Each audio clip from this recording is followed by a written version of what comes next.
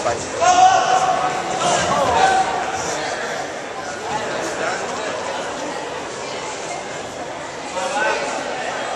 Come on, Ryan. Sort it out.